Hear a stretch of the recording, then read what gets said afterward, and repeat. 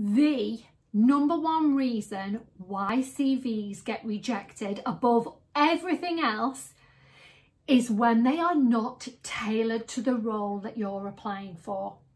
If a recruiter cannot see on that very first page where your skills, experience and knowledge match what they're looking for, chances are it'll be rejected.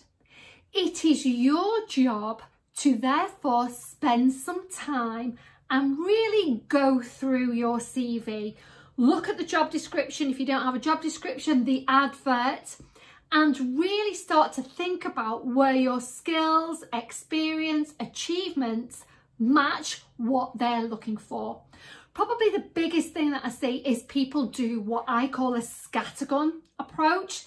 They send exactly the same CV off for every single role and then they expect the recruiter to be able to pick out and see where they match.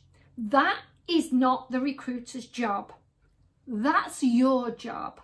Often I'll see people just, they just can't be bothered to do that. They're too lazy. They think, oh, that'll, that'll do. Well, if you have that kind of approach to job hunting, they're the results that you're going to get.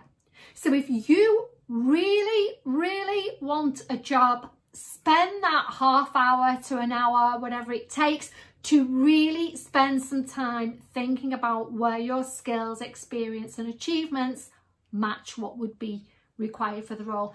Make sure you clearly state that on the first page. Another top tip is to use some of the recruiter's keywords from the job description or from the advert and include those in your CV too.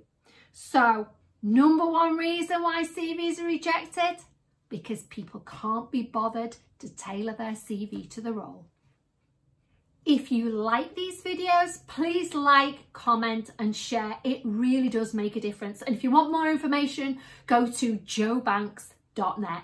Thank you.